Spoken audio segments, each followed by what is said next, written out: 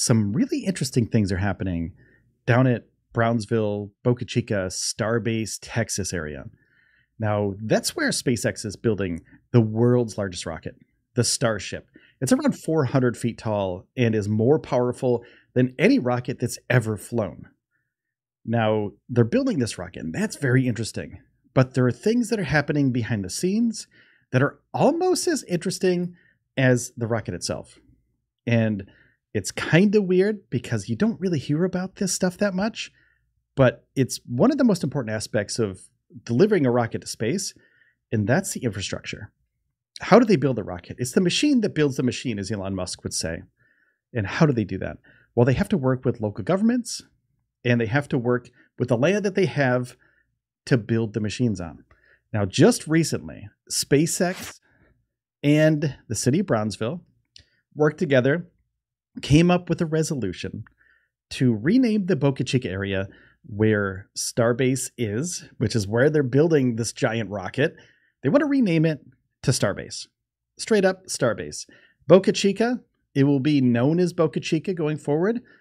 Um, it, you know, if they want to reference it, they can call it Boca Chica or they can just call it Starbase. And this is from the Brownsville, Texas.gov site. City passes resolution. This happened last year, by the way, uh, December 18th. So, city passes resolution in support of renaming area east of Brownsville to Starbase. So, the Starbase area, about 20 miles away from Brownsville, it's about a 30 minute drive ish. I've driven it hundreds of times, and it's known to most people in the spaceflight community as Starbase. And most people that are locally there, they know it as Boca Chica. So, it does take a little bit of nudging from the local government and also uh, the state of Texas to rename this because there are things that happen behind the scenes that we don't see because we see the rocket all the time. Right? We see this giant rocket, but this is it's important. Trust me. The notice is hereby given that a regular meeting of the board of Cameron County Spaceport Development Corporation will be conducted as authorized by the VTCA, Texas Government Code, et cetera, et cetera.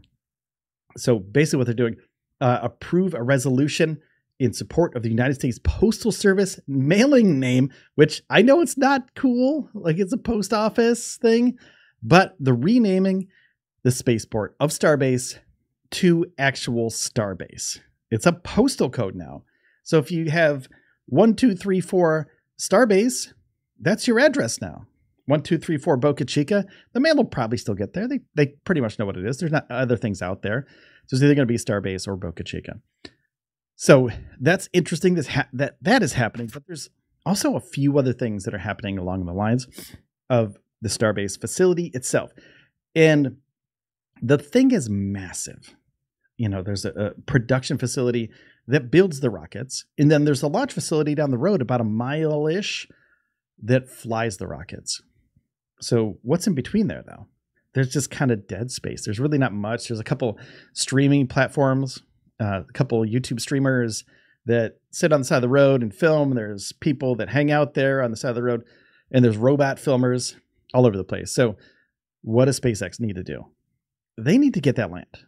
They need to get that land. They make they need to make sure that all the land in between the production facility and the launch facility they can use as much as possible, right? So if they can do that, if they can do that, they can build more parts of the machine that builds the machines that'll take us to Mars. Um, right here, state considers handing over parkland to SpaceX. Now, this is a big deal. This isn't just a let's hang out and build a couple rockets here and there kind of thing. This is a huge deal because this is going to uh, it's kind of kind of set off some alarms for environmental advocates down there. Um, but also, SpaceX is going to be using this area to build the infrastructure that will be building the rockets even faster. Though they already do, and then they're going to have two launch pads there, um, where the rock two rockets per day possibly could launch from Starbase, as it's been named now by the post office. So they can do that now. So all of these little green dots here. Let me explain this to you. All these little green dots right here. These are whoop. These are places that are owned by the state right now. Little plots of land, these little ones right here, and this one right here. So this right here, that's where they launch the rockets from, and this little arrow right here that I just pointed to. This area right here is where they launch the rockets from. To Uh, this is towards Brownsville this way. If you go that way, it's towards Brownsville, about 20 minutes, 30 minutes that way. But everything in between here, little plots of land. The state owns that land. So SpaceX can't use it for anything. Uh, they can't build there. They'll get in major trouble if they build there. All of those plots, eh, they're owned by the state. Um, what are they from? There are people that own lots of land there, little tiny lots of land. I actually thought about buying one of those lots because you could put up a robo camera and have a live stream of Starbase 24 7 if you have one of those lots. So you could buy one of these lots. There are lots over here as well that you can, you know, put a camera in and, you know, there's there's other places over there that you can put a camera, but one of these lots is something that I was interested in, but it's kind of expensive to to buy these lots. Um, talked to a couple people. It's very it's a process. Let's just say that. it's a it's a pretty big process. But SpaceX would use this to move facilities over to these lots. And as you can see, there are a few of them, like this one right here. These are all clustered together. So they could build something there. They could build something in this cluster, something in this cluster. This butts right up against where they are right now, this cluster, etc. So they could have little little things, little pockets where they could I don't know, build fuel depots or something. I don't know what they're going to do there. Nobody really knows right now. They know they're going to develop it if they if this passes. And it has to go through the government of Texas in order to pass, right? So the government of Texas has to pass this. They have to make sure that everything's up to code. But this is what's going to happen. SpaceX has all of this land up here, the Laguna land up here.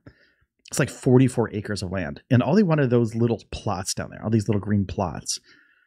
And if they exchange these tiny green plots for like I think it's 44 acres. If you look up here a little bit, it tells you how much it is.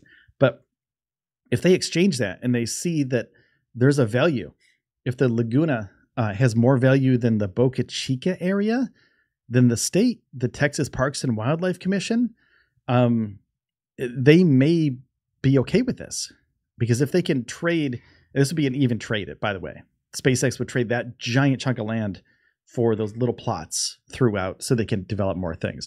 So this is going to be an ongoing story. This may not happen right away. Um, this is supposed to happen sometime um, a date uh, adopted and approved 25th uh, of January 2024. And if they approve this, this is going to be happening in the next few days that they approve this land uh, trade here with SpaceX and the government of Texas.